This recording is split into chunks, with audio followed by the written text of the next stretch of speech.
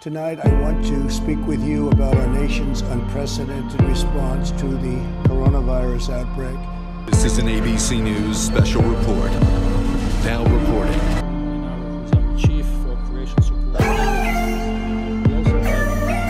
Coming on the air now with breaking news from Wall Street in the wake of the coronavirus crisis. Stocks have stopped trading on Wall Street after a 7% drop in the Dow Jones and the S&P 500 in the first minute. Coronavirus fears reaching an all-time high in the U.S. Two men died from the virus in Washington state over the weekend. They were out of bottled water, those popular Clorox wipes, flour, bagged rice, things like toilet paper. Employees said they've been watching people stock up amid coronavirus fears, but county officials are.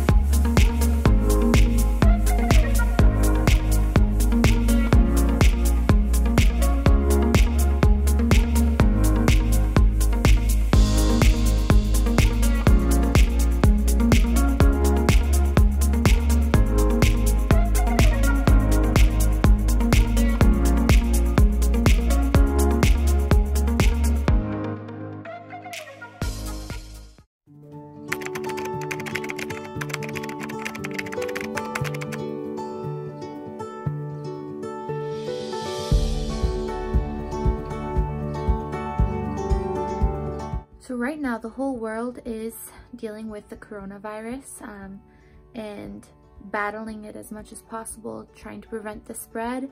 Um, and we are in the same situation here in Sweden. Um, at ShapeBy, we are open as usual right now.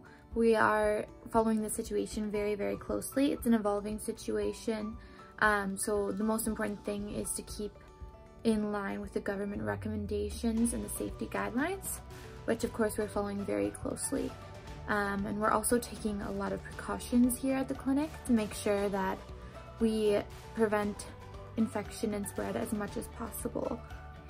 We ask that you please contact us to reschedule your appointment if you have any symptoms of infection or if you have been in contact with someone who does. Upon arrival, when our patients come here, we always check with them if they have any symptoms of corona. And if they do have a fever or any kind of symptoms, we uh, reschedule them for another appointment time. And when we do check the fever, and we have a, a temperature measure here, so we point it with laser on the forehead and it shows a number. So here it is, 36.1. So that's very good, no fever and then we ask them to go and wash their hands in the bathroom and we also have a disinfectant so they can wash it with that as well. We take coronavirus very, very seriously. So one thing we are doing is um, checking and screening our staff every day to see if anyone has any symptoms, even the most mild symptoms of cough, fever, any upper respiratory infection, or if they've been in contact with others. So we've been recommending all of our staff members to stay home if they do have any symptoms or any interaction with other people who have symptoms. Um, and we do also check everyone's temperature every day to see if any one of us has a fever. We take this very seriously and we want to make sure that if one of our staff members were to show any symptoms, we would definitely have them stay home. At our clinic, we continue to use high infection control standards by washing our hands before and after each treatment. We use hand sanitizers and hospital-grade disinfectants.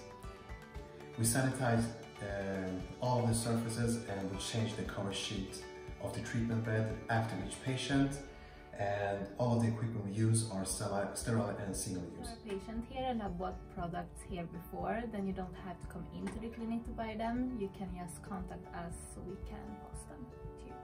So another measure we're taking right now is to ask that um, none of our patients bring any friends or family members with them here to the clinic, um, and especially not children. This is because we want to limit the number of people that are here in the lobby um, so that people are able to sit at more of a distance um, and not come in as close contact with others.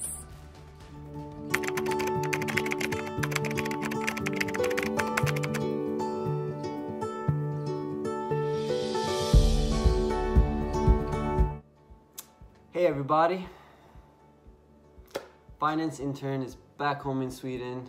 Uh, I just came back from the US, from San Diego to Solna yesterday, and uh, now I've been put in quarantine.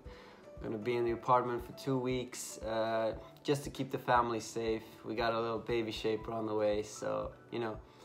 And I got I got there in mid-January, so Corona wasn't on people's mind. Life was normal back then. California life consists of great weather, warm weather, and uh, because of the weather, people are always outside, people are being active, and uh, everything's open. I mean, it's almost like Swedish summer over there right now.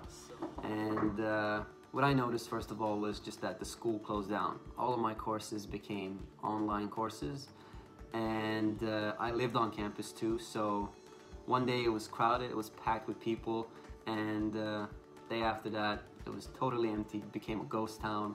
The school sent out an email to every student telling them that they are not permitted to even live on campus anymore. All the American kids got sent back home and only the international students uh, were permitted to stay because yeah, we, we didn't have anywhere else to go. And a couple of days later, restaurants, uh, all the stores, basically everything was just starting to close down.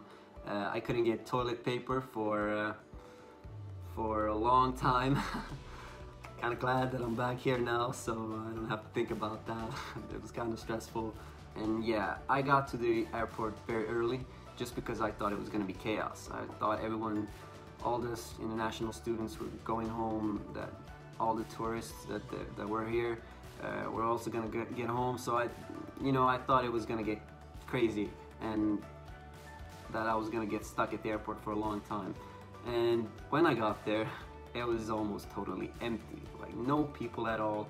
Um, and the people that were there, everyone had these masks to cover their face. They were walking around. Some people were walking around in like full body hazmat suits. I'm just standing there with my hand sanitizer, so I felt like, oh shit, I need to, uh, I need to get a mask or something. Luckily, I didn't have any problems with cancellations or my flights being delayed. Uh, it was pretty much straightforward, just get on the plane and fly. And no, there were no problem at all. Uh, they didn't check your temperature, didn't do any like coronavirus related thing that you maybe would think that they would do. It was just get off the plane, uh, didn't do it, didn't even do a passport control really. It was just go take your luggage and go home. Like that was, that was it. Basically, I'm just gonna stay at home, gonna focus on school, continue with the online courses from Sweden.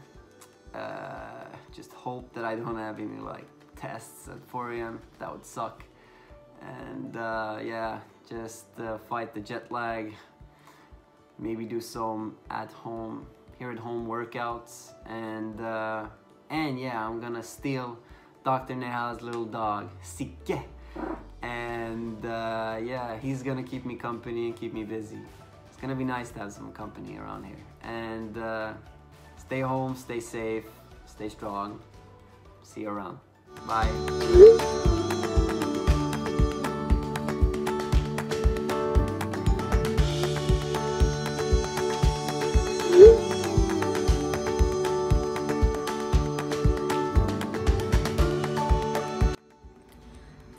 Safety of our patients and staff is our top concern right now. So we want to do whatever we can to help with that. Um, and so one thing that we're doing is also we have 10% discount on our gift cards right now. Um, and that's because we want to make sure that there's a way for our patients to feel, you know, a small way to feel happy or fulfilled later on after the coronavirus has been contained.